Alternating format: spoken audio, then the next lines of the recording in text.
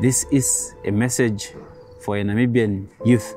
There is hope, but this help cannot just find us. We will have to look for it.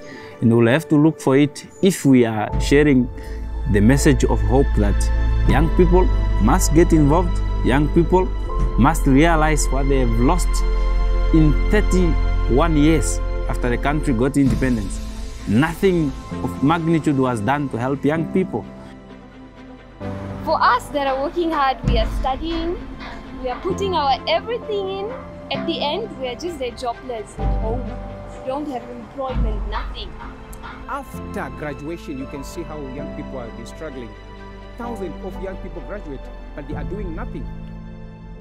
Wherever you go in the nightclub, we have nothing to do. You can't blame them. One thing that I will say is that we should not follow the past. We should look for the future. I actually feel like people out there or the youth out there should actually just have hope. It really doesn't matter the, the circumstances. At least if, if you hope in something better or you believe you can do something really better, then just go out there and then stand out. Make a difference, I guess.